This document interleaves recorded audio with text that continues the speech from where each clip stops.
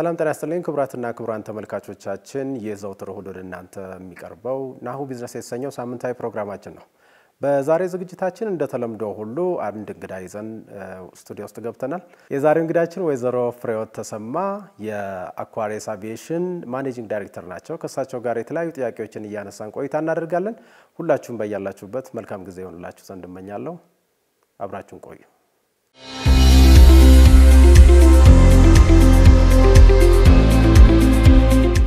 ወይዘሮ ፍሬህይወት ተሰማ በቅድሚያው አንቱ ልበል አንቺ ልበል? አመሰግናለሁ። እንግዲህ ዛሬው መነሻ የሚሆነን በአቪዬሽን ውስጥ እንቅስቃሴ ከሚያደርጉ ተቋማት አንዱ የአኳሪየስ አቪዬሽን የሚባለው ነው። የዛ ማኔጂንግ ዳይሬክተር ደግሞ አንቺ ነሽ። እንደው ሴቶችን ብዙ ጊዜ በዚህ መልኩ አስተውለን አናውቅም። ወደዚህ የቢዝነስ እንቅስቃሴ ውስጥ እንዴት ልትገቢ ይቻልሽ? በአጋጣሚ ነው የገባሁት። ያው የአቪዬሽን background አልነበረኝም ግን አብርዴር አቪዬሽን የሚባል የኬንያ ውስጥ ያለ company እዚህ ሀገር ስራ አግኝቶ አውሮፕላን ይዞ መምጣት ነበረበትና እነሱን ያው አብሬያቸው እንድሰራ ጠየቁኝ። ስለዚህ ሁለት ዓመት ከነሱ ጋር ሰራሁ እና ያው እነሱ ያመጡበት ምክንያት ሁለት ሞተር ያለው አውሮፕላን ተፈልጎ ነበር።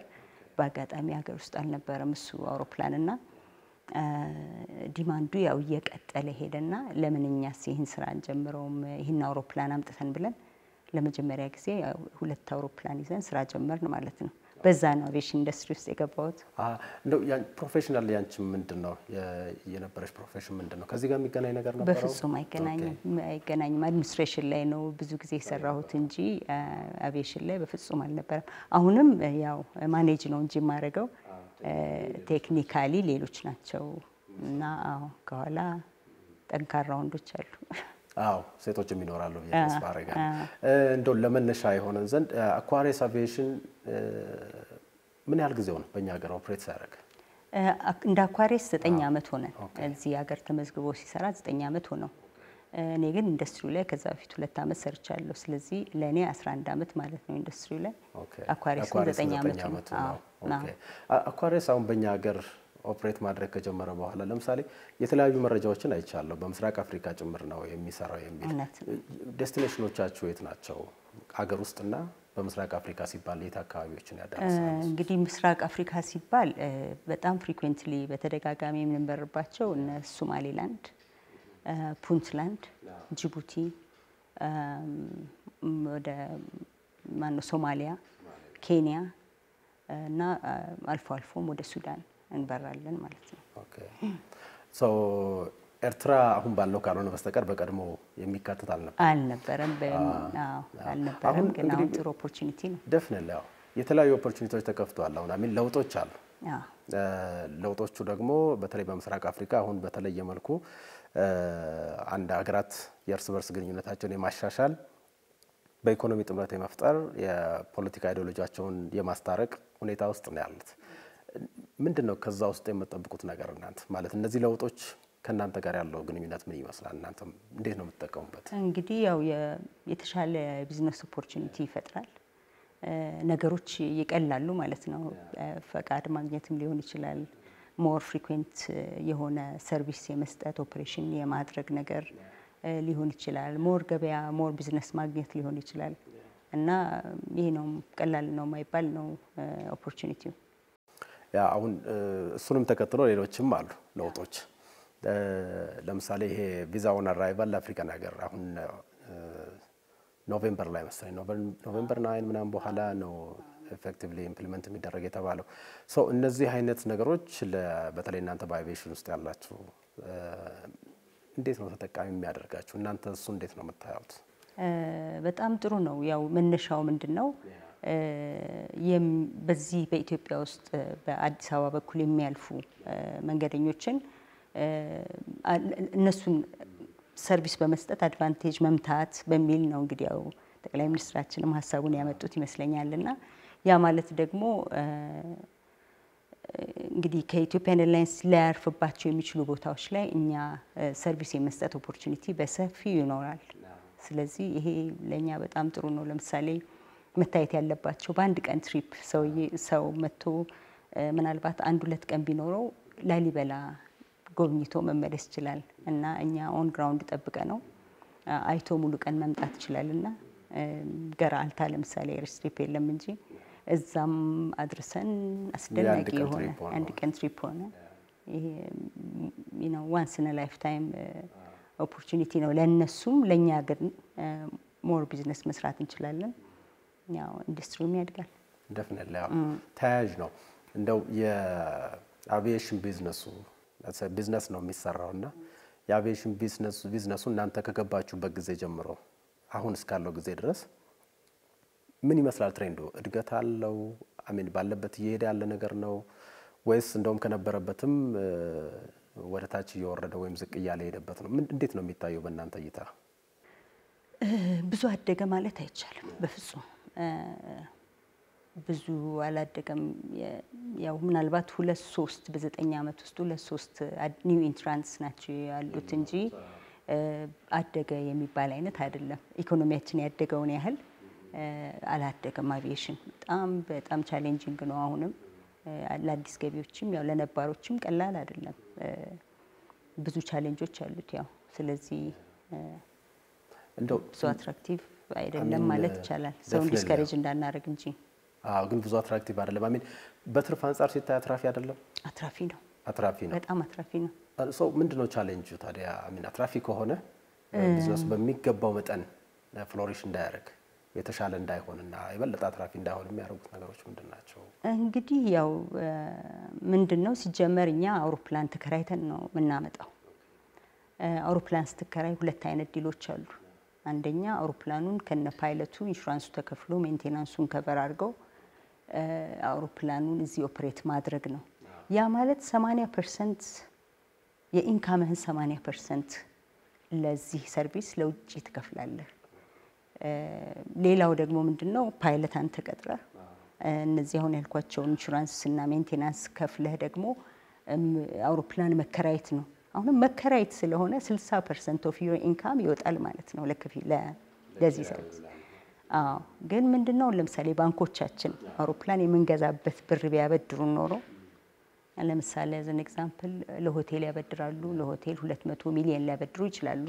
እኛ አውሮፕላን ለመግዛት 50 ሚሊየን ነው የምንፈልገው። ብዙ ጊዜ ደጋግመን ጠይቀናል እና ብዙ የውጭ ምንዛሪ 90 percent የሚሆኑት client ኦቻችን የሚከፍሉን በዶላር ነው እና ይህን ያህል ብር እያወጣን ነው። 80 percent of our income እያወጣን ነው እየከፈልን ነው ለኪራይ። ስለዚህ ባካችሁ አበድሩንና እንስራ። ይሁን እንደምታዩት statement ኣችን እንደምታዩት አትራፊ አዋጪ ነው ብለን ስንነግራቸው ባንኮቹ ምንድን ነው የሚሉን? አቪዬሽን የኛ priority sector አይደለም ይላሉ። እህ ምንድን ነው priority ያችሁ ስትላቸው ቱሪዝም ነው፣ manufacturing ነው፣ ግብርና ነው ይሉሃል። እነዚህ ነገሮች ግን የሚሰሩት በ private አውሮፕላን ነው። ያው አንዳንድ ሜዳዎች ላይ Ethiopian Airlines የማይሄድባቸው አሉ የማይደርስባቸው አሉ እና ኢንቨስተሮች ለምሳሌ new site ለመጎብኘት ወይም ደግሞ ያለውንም site ሰራተኞቻቸውን በሳምንትም በአስራ አምስት ቀንም ለማስገባትና ለማውጣት ቱሪዝም ማን ነው የሚጠቀሙት ያው አውሮፕላን ነው። ቱሪዝምም ቢሆን accessible ያልሆኑ ቦታዎች አሉ። ለምሳሌ ኦሞራቴ ለምሳሌ ወደ ደቡብ ብንሄድ ሜዳ አውሮፕላን ሜዳ የለም ለ Ethiopian Airlines ሊያርፍበት የሚችለው ቦታ ማለት ነው። ስለዚህ አዎ ጥርጊያ መሬት ካገኘ እናርፋለን እኛ። እ፣ ዳሎል ለምሳሌ ቱሪስት በጣም ማየት ከሚፈልጋቸው ቦታዎች አንዱ ነው እና ቱሪዝም priority ያቸው ከሆነ በምንድን ነው ያ የሚሰራው ነው እንግዲህ ሁለት ሶስት ቀን ወስደህ በመኪና መሄድ ጊዜ የሚፈጅ ነገር ነው። ቱሪስቱ ምናልባት ሁለት ሶስት ቀን ብቻ ነው ሊኖረው የሚችለው እና ስለዚህ ትንሽ challenging ነው። ይሄንን እንደ priority sector ወይም understand ያለማድረግ ነገር ነው እንጂ priority sector ኦችን support የሚያደርግ ሴክተር ነው የኛ። አዋጭነቱ ጥሩ ከሆነ በሁለተኛ ደረጃ ተመጋጋቢ ነው፣ complement የሚያደርግ ነው አንዱ ለሌላው ብቻውን ተነጥሎ የሚቆም አይደለም። አሁን ቅድም እንዳልነው ቱሪስት አንዱ priority ከሆነ ግብርና ሴክተሩም እንደዛው ከሆነ እነዚህን የተሳለጠ የሚያደርግ ወይም የተሻለ የሚያደርገው ደግሞ የትራንስፖርት access መኖሩ ነው። access ኡ ደግሞ በአማራጭ መሞላት አለበት። I mean በየብስ ትራንስፖርት ሊካሄድ ይችላል፣ ግን ደግሞ በሌላም ትራንስፖርት ሴክተር እንደዚሁ አማራጭ ነገሮች ሊኖሩ ይገባል። እንደ በዋነኛነት ማንሳት የምፈልገው I mean sector ኡ በ private operators የሚካሄድ ከሆነ ይሄ ፍቃዱ እድሉ ከተሰጠ ሰው ምቹ ሁኔታዎችን አብሮ ለማድረግ ለማቅረብ በፋይናንስም ሊሆን ይችላል ሌሎችን መሰረተ ልማቶቹንም አብሮ ከማሟላት አንጻር እስካሁን መንግስት የሄደበት ሁኔታ ምን ይመስላል? እናንተም እንዴት ታዩታላችሁ? እውነቱን ለመናገር ያው ምንም literally support ከዛ አንጻር አላገኘንም ማለት ይቻላል። ለምሳሌ ላንጋኖ ላይ ሜዳ አንድ ኪሎ ሜትር ሜዳ ለመስራት ጠይቀን ሁላ ነበር። ያው እንግዲህ ከመንግስት ላለመጠበቅ ማለት ነው። ሁሌ በግል አዎ በግል እና እስቲች ሜዳ ስጡንና እንስራ እኛ ራሳችን ግድ የለም በኪራይም አምስት ዓመቱም ስጡን ብለን ጠይቀንም ነበር እና ብዙም እርዳታ አላገኘንም። ስለዚህ ምንድን ነው በጣም የሚገርመው ነገር ደብረ ማርቆስ ለምሳሌ አውሮፕላን ማረፊያ ሜዳ የለም፣ ነቀምት የለም፣ ናዝሬት የለም፣ አምቦ የለም። ብዙ ቦታ መጥቀስ ይቻላል። ስለዚህ እነዛ ቦታዎች ላይ ሜዳ ቢሰራ ህዝቡም community ውም access ያገኛል ማለት ነው። የትራንስፖርት access ያገኛል ማለት ነው። በእርግጥ አዎ መኪና አለ። በመኪና ግን አንዳንድ ሰው ደግሞ ሙሉ ቀን መጓዝ ላይፈልግ ይችል ይሆናል። weekend ቤተሰብ አይቶ መምጣት የሚፈልግ ሰው ይኖር ይሆናል። ወይም ደግሞ አደጋ አንድ ቱሪስት አደጋ ቢያጋጥመው immediately ሄዶ ማምጣት የሚቻልበትን service የምንሰጥበት እድል ይኖራል ማለት ነው። ስለዚህ ህይወትም እናተርፋለን። ሰዎች ያው እንዳልኩ ላንጋኖ ተዝናንተው ጧት አምጥተናቸው አንድ ሰዓት ሁለት ሰዓት ተዘጋጅተው ወደ ስራ መግባት ይችላሉ እና ድሮ በጃንሆይ ጊዜ የነበሩ ብዙ ሜዳዎች ወደ 50 60 ሜዳዎች ነበሩ ይባላል። አሁን የሉም። እነሱን ማልማት ይቻላል እና እዚህ ላይ ምንም በቃ እርዳታ አላገኘንም ማለት ይቻላል። ነዳጅ ፈላጊ ድርጅቶች ያው ለራሳቸው እንዲመቻቸው አንዳንድ ሜዳዎች የገነቡበት ሁኔታ አለ እኛ ስናቅ ማለት ነው። ከዛ ውጭ ግን እንደው ያስፈልጋል ብሎ ወይ ክልሎች ወይ ዞኖች ምናምን ምንም አላረጉም።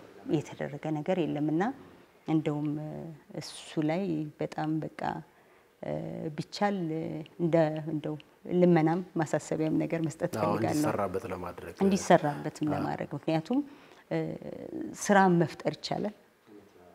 ቱሪስት አንድ ቦታ ቢሄድ accessible community ው ቀጥታ መጠቀም ይችላል ከቱሪዝም ኢንዱስትሪ ማለት ነው።